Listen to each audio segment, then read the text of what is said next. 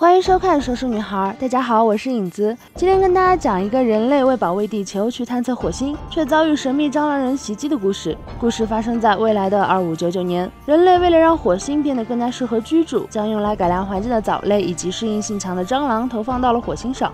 可没想到，这些生物却拥有了智慧，并且在火星上生存繁衍。黑心博士想研究这种蟑螂人，一探究竟，便抓来了身为罪犯的男主和女主。博士承诺，如果去火星执行任务，就可以解除他们以前的一切罪行。男主二人见此情形，便签下契约书，跟着其他被选中的队友乘坐飞船来到了火星。接着，男主和女主被派为先锋队员，到火星地表探测情况。就在二人商量时，突然出现了一只蟑螂人，二人还没反应过来，蟑螂人瞬间就冲上来杀死了。女主，这令男主很是愤怒，同时也很不解，为何火星上会出现如此强大的蟑螂人？疑惑之下，男主把女主的尸体带回飞船后，便立即跑去质问队长。这时，黑心博士利用通讯工具出现，跟大家解释情况。原来，人类之前在火星上投放的蟑螂已经产生进化，变成了拥有智慧的蟑螂人，而挑选大家来到火星的目的就是消灭蟑螂人。并且博士已经在大家的身体里编入了昆虫 DNA，可以让大家激活后拥有对抗蟑螂人的超能力。大家听完也是一头雾水。但就在此时，一个蟑螂人独自来到飞船前，其中一个队员见此情形，便自告奋勇出去对抗蟑螂人。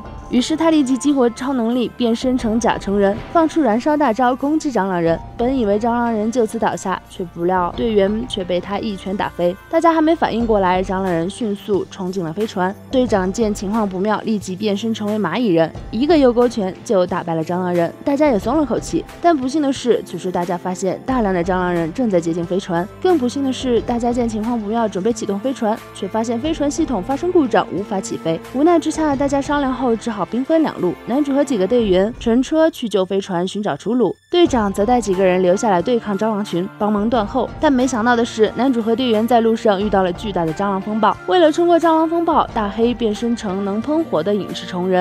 一番风暴过后，大家成功利用大黑喷火的动力冲出了蟑螂风暴。就在大家为此开心时，不料更加凶猛的蟑螂风暴再次来袭。两名女队员见此情形，也纷纷变身保护大黑，抵御风暴，为大家保驾护航。经过一番激烈的冲撞，大黑和两名队员不幸身亡，而剩下的队员顺利逃脱风。暴，并继续开车向救飞船驶去，接着就到达了救飞船所在地。但此时大家发现救飞船并不能使用，只好准备返回原本飞船所在地。不料此时飞船外突然出现了十几只蟑螂人，男主三人立马出来查看情况，却发现这些蟑螂已经学会开枪。众人眼看着强大的蟑螂人束手无策，只好选择与蟑螂人决一死战，纷纷激活变身。男主变身成最厉害的蜜蜂人，与队友一起以三敌千，奋勇杀敌，瞬间就击败了无数蟑螂人。而另一边，队长拼尽。全力杀光了飞船里的蟑螂人，不料剩下的两名队员是叛徒，他们遵从黑心博士的命令，悄悄藏了一个蟑螂蛋。准备带回地球研究，造出蟑螂大军称霸地球。但没想到飞船刚起飞，蟑螂蛋竟然孵化出两名双胞胎蟑螂，女叛徒被蟑螂人一拳了结了性命。不仅如此，双胞胎立马呼唤地上的蟑螂，霎时间，地上的蟑螂纷纷展开翅膀向飞船飞去。但由于飞船不堪重负，正好坠毁在幸存的男主三人面前。男主三人瞬间就被成千上万的蟑螂人包围。三人见情况不妙，便迅速变身与蟑螂大军决一死战。一番奋战后，大量蟑螂人纷纷倒下。但不料蟑螂人不计其数，三人很快就要败下阵来，其中一位女队员也不幸身亡。在这危急时刻，男主二人只好背水一战，继续注射药物以增强超能力。随着一针针药物的作用，队员的超能力迅速爆发，身上还长出了翅膀。他立马将无数蟑螂打倒在地，却不料一番打斗后，队员由于体力消耗殆尽，从空中跌落下来。男主见此情形更是愤怒，便立即注射药物，能量大爆发，一拳就把蟑螂人打倒在地。单凭男主一己之力，也敌不过蟑螂大军。蟑螂大军一波接一波的涌了上来，二人瞬间被团团包围。在这生死存亡之际，女主竟然化作蝴蝶人出现在空中。原来女主可以破茧重生，通过自爆产生巨大威力。于是女主立刻冲向蟑螂大军，与之同归于尽。就这样。